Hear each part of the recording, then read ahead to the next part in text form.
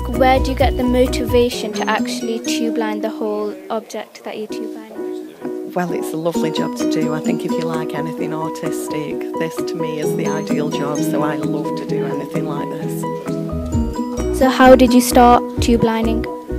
Oh gosh, um, I actually worked with somebody a few years ago whose um, wife worked here, and I used to decorate wedding cakes. And they said to me, Oh, that's like Moorcroft, it's like decorating wedding cakes.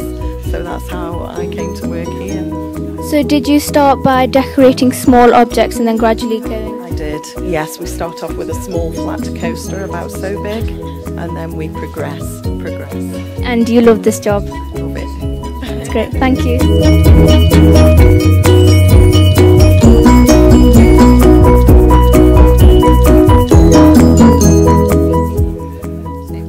So when you're painting, how do you have the patience and like the motivation just to carry on painting because it does look like it'll take a long time? You just have to, you just learn to have patience. it comes with the job. Okay, thank you.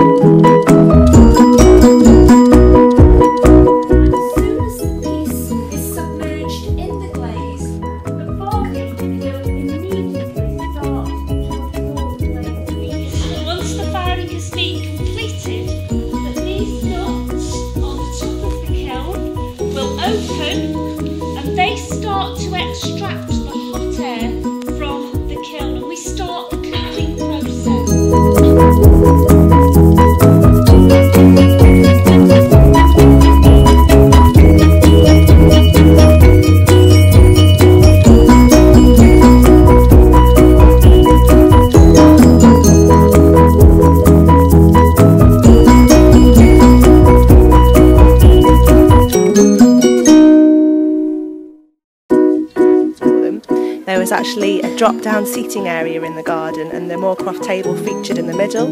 And each designer designed a corner of the table. So that was our project last year, and then the spheres are this year for the Positively Stoke-on-Trent garden. So overall, being like this year at Moorcroft, do you enjoy this job?